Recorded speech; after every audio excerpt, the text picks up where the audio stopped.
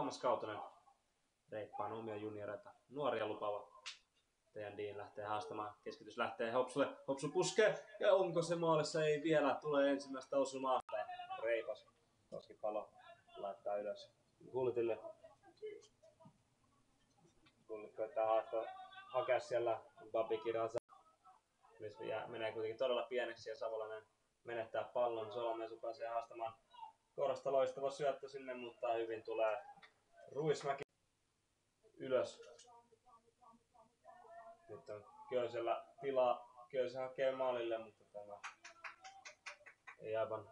Severi Morto tuossa kymppipaikalla ja hän taas on useimmiten ollut keskellä pohjalla, joten vähän hakevat uusia paikkoja pelaajia. Nyt lähtee Mudun laukaus oikea alakulmaa kohti loistava torjunta kuitenkin Antto Munu lähelle maalia. Estää sitten tätä Niko Tervosen pois pääsyä tuolta maalilta ainakin hankala tästä. Nyt lähtee jälleen keskitystä ja vaarallisen näköinen pallo, mutta se päätyy siinä Nurai Köse laittaa viereen Hasirille. Hasirin keskitys kuitenkin hieman ehkä epäonnistuu. Ruisra Reipas vapaa potku antamassa. Gullit Solameso, 27-vuotias pelaaja. Hakeeko sinne sitten suoraan vasen jalkaisen pudottaa aina Niko Tervoselle. Tämä hoitaa koskipalo. Kyllä se tavoittelee Solameso. Ja vielä pääsee Solameso sieltä nyt hieman onnekkaasti pallon kanssa. Kädet.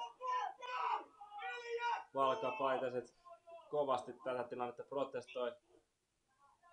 Siinä Kiippe menettää hetkellisesti uudestaan pallon.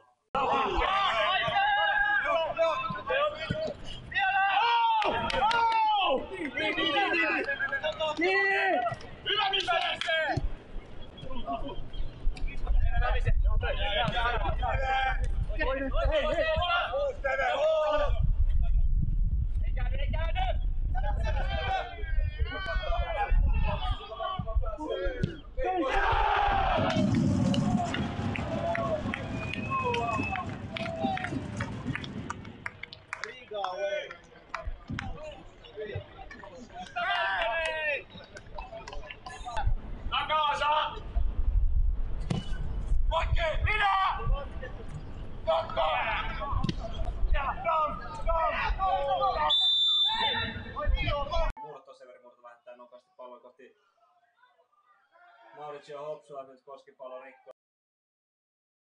Sitten tuomari ja sieltä nousee myös keltainen kortti Daniel Koskipalolle, numero 16. Vapaa potku antamaan, lähtee sinne maalikohti siihen. Pääsee Severi Murto puskemaan, mutta tämä pusku kaksi metriä. Defense! Defense! Defense!